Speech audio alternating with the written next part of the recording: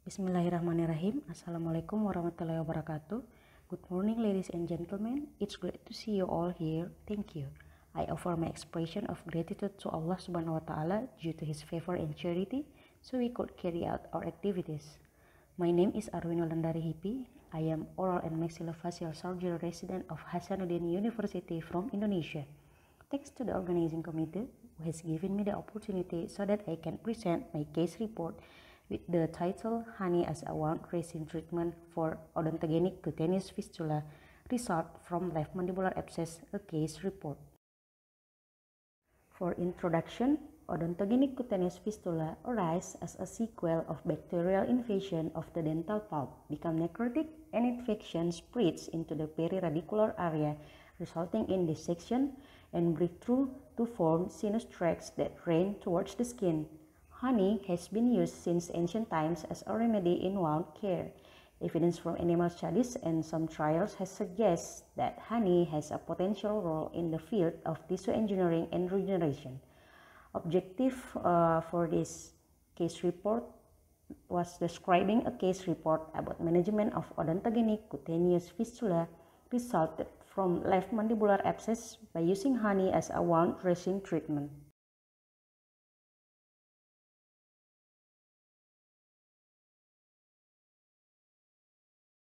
An odontogenic cutaneous fistula is a pathologic communication between the cutaneous surface of the face and the oral cavity. Usually arises as a sequel to bacterial invasion of the dental pulp through a breach in the enamel and dentin by a carious lesion, trauma, or other causes.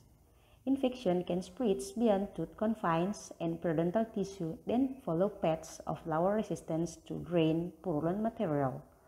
Uh, the inflammatory process leads to bone resorption that subsequently dissects along the path of less resistance and erupts through skin, where the discharge of purulent exudates flow through tissues and structures along paths of less resistance.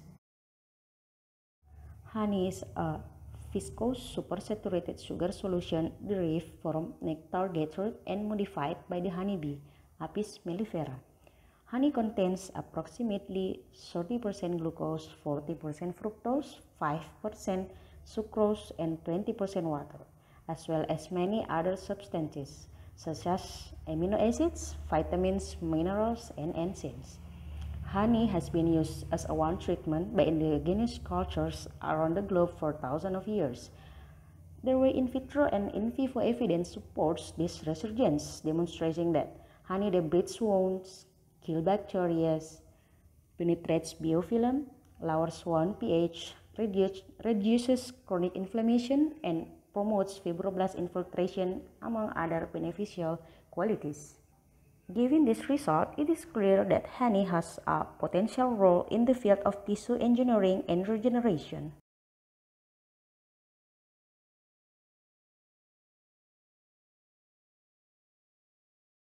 For the case report, a 29-year-old woman with no known comorbidity was referred to oral and maxillofacial surgery department regarding of painful facial swelling with open infected wound on the left cheek and limited opening of mouth. Her history of recurrent toothache 10 days priorly then followed by facial swelling with pain and fever. The patient had given antibiotic and analgesic per oral, but the swelling gradually grew larger and sinus tract was, was formed on her left cheek. On extraoral examination, facial swelling with 8 by 6 by 3 cm in size and a fistula on parotideomasseterica region with skin opening 3 to 4 to 1.5 cm in size with reddish irregular border and pus actively discharged was observed. Uh, mouth opening was only 2 cm. From adjunctive examination, blood examination revealed a mild elevated white blood count and slightly lower hemoglobin level. CT scan revealed soft tissue defect with white swelling in left masticator, a part of salivary gland and submandibular space with cervical enlargement of diffuse gland that suggests inflammation or infection process. from the OPG X-ray showed lower, lower left third molar with profunda caries and a peri periapical radiolucency.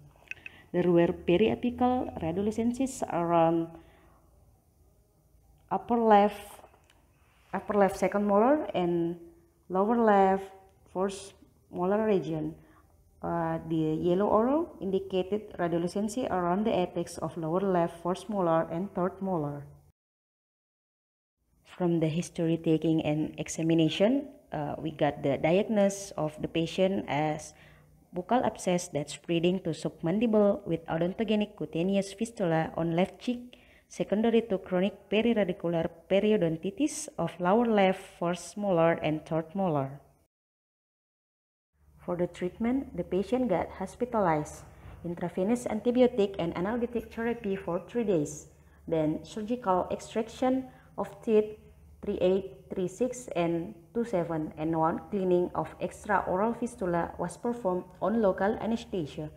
The extraoral fistulas pulled using povidone iodine 10% solution and bandage using sterile gauze with pressure then changed every day.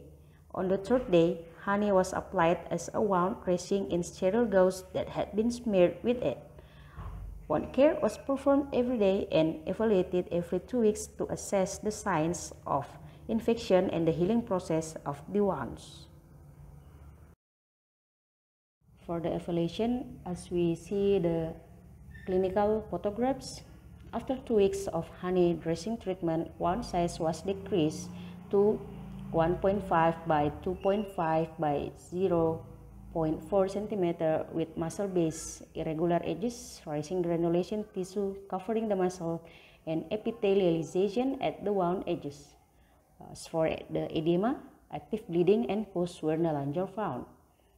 After four weeks of honey dressing treatment, muscle tissue was at the base of the wound with rising granulation. One size was 0.5 to uh, by 2 centimeter. After 12 weeks, the wound was almost completely covered by healthy skin tissue and epithelialization with scab on the center of the wound. As for the scar, was planned for repair of skin surgery with rotational flap leather in general anesthesia.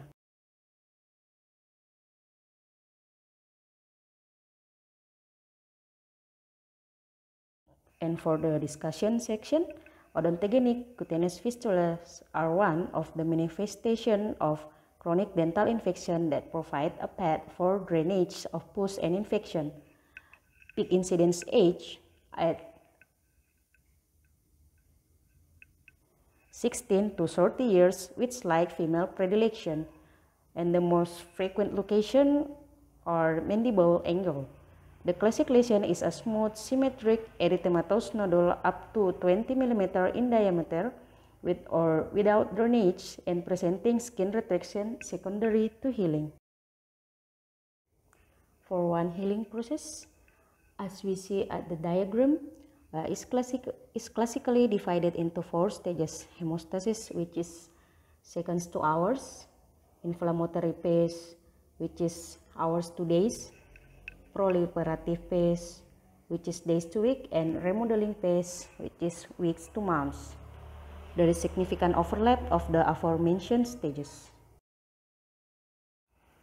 Honey may positively influence three phases of wound healing, inflammatory, proliferative, and remodeling phase, including immunologic modulation via increased production of cytokines, as well as promotion of tissue granulation and epithelialization.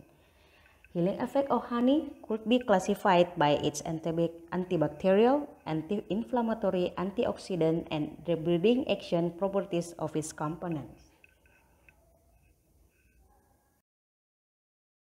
For antibacterial properties of honey, the first high osmolarity uh, that inhibited microbial growth because the sugar molecules tie up water molecules so that bacteria have insufficient water to grow. Glucose oxidase, the one that lowers the pH of honey, therefore reduces protease activity increases oxygen release from hemoglobin and stimulates the activity of macrophages and fibroblasts. Hydrogen peroxide and non-peroxide like methyl glyoxal uh, that forms highly toxic hydroxyl radical which is involved in microbial killing sterilizes the wound and stimulates vascular endothelial growth factor production. Nitric oxide that potentiates hydrogen peroxides in bacterial killing, inhibits virus replication and intracellular pathogens, and stimulates immune response. For anti-inflammatory properties of honey, immunostimulatory activity of honey on leukocytes causes the production of cytokines, which lead to the stimulation and growth of cells. Honey can lower plasma prostaglandin concentration in normal individuals. The site of action could be either at cyclooxygenase 1 or cyclooxygenase 2 or both. Honey stimulates the angiogenesis, granulation, and epithelialization. Uh, honey can trigger the sequence of events to enhance angiogenesis and proliferation of fibroblasts and epithelial cells by producing certain growth factors like um, tumor, tumor necrosis factor alpha.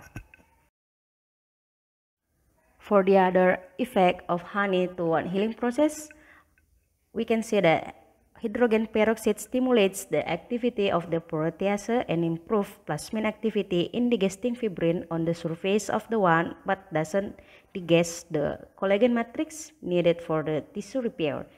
The antioxidant components of honey such as flavonoids, monophenolics, polyphenols, and vitamin C. Evaluation of honey as a wound dressing treatment for odontogenic cutaneous fistula. We can see that one size has gradually decreased in our case. Edema, active bleeding, and pus were no longer found and the one almost completely covered. In our case, honey has proven the ability to stimulate granulation and epithelializations in odontogenic cutaneous fistula treatment with no reported side effects. For the conclusion, we have two points. First, management for odontogenic cutaneous fistula result from mandibular abscess include close observation and treatment, antibiotic therapy, surgical intervention, and honey we can choose as uh, wound dressing. Second, with antibacterial, anti-inflammatory, antioxidant, immunostimulatory effect, and other properties of honey, it is recommended to use honey as a biologic wound dressing that work in concert to expedite the healing process. That's all.